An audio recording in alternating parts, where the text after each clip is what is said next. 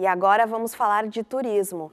Na série Viajando pelo Rio Grande, hoje a gente convida você a conhecer as atrações do município de Cambará do Sul, cidade a cerca de 180 quilômetros de Porto Alegre, que tem nos canyons uma das belezas naturais mais visitadas do território gaúcho. E uma ótima opção de passeio ao ar livre em tempos de pandemia.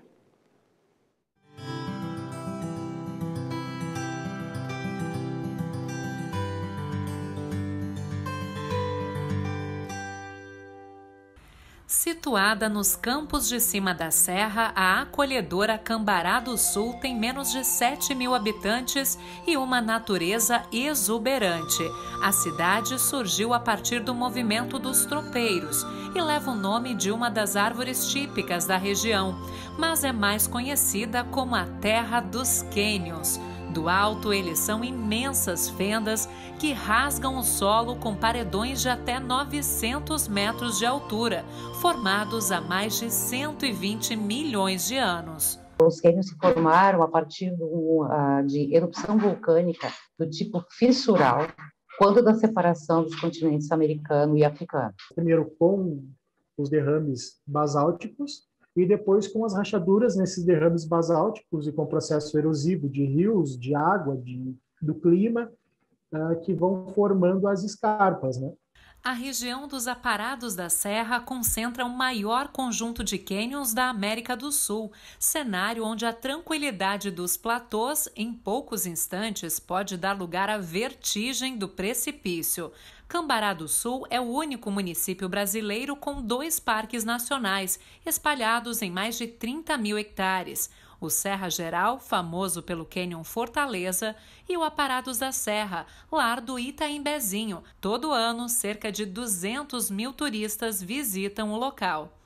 É uma energia muito bacana, lugar muito bonito, né? Não existe nada igual. Acho que a vegetação e a questão do canyon também é muito surpreendente, assim, o vale, a planície é fantástico, vale muito a pena ver. Quem quiser tanto fazer de trekking, ou fazer de bicicleta, ou de motocross, ou até mesmo de carro, né, com jipes, enfim, tem várias opções. Cavalgadas, quadriciclos, voo de balão que está começando muito forte também e o famosíssimo Circuito das Águas, que conhece rios, lagos, cachoeira, uma região espetacular. No início de 2021, a gestão dos parques de Cambará foi concedida à iniciativa privada por 30 anos.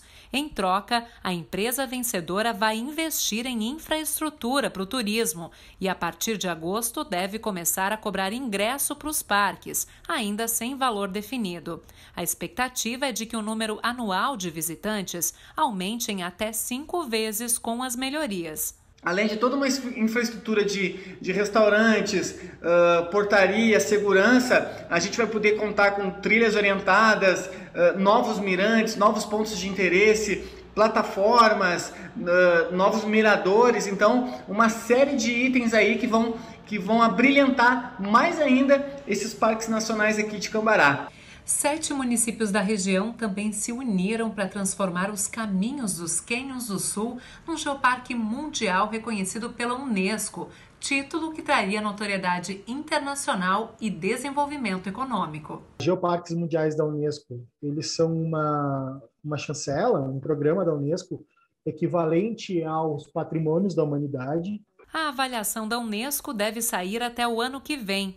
Para quem quiser conhecer Cambará, existem opções de acomodação com preços bem variados e gastronomia com iguarias como este pastel de pinhão.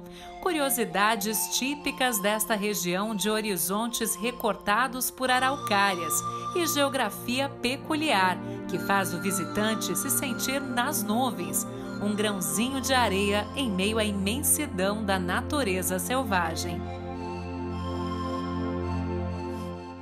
Tá aí, uma pequena cidade, mas com um imenso potencial turístico. Na matéria você viu turistas sem máscara porque estavam ao ar livre e preferiram gravar assim. A nossa equipe manteve o distanciamento. Também usamos algumas imagens de visitantes sem máscara feitas no período anterior à pandemia.